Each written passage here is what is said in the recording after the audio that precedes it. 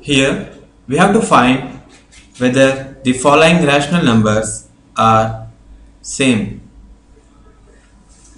Let us start with the solution of the problem. The first question is negative 7 upon 21 and 3 upon 9. As you can see, negative 7 upon 21 is a negative rational number.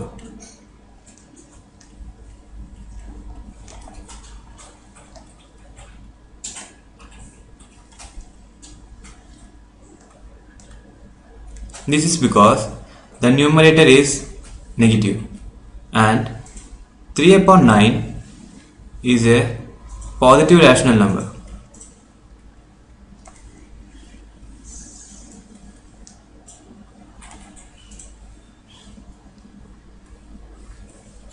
This is because the numerator and the denominator are positive. So, a positive rational number and a negative rational number can never be same or equal as they are present at two different sides on the number line. If this is a number line with 0 at the center, then the positive rational numbers are represented on the right side of 0 and the negative rational numbers are represented on the left side of the 0.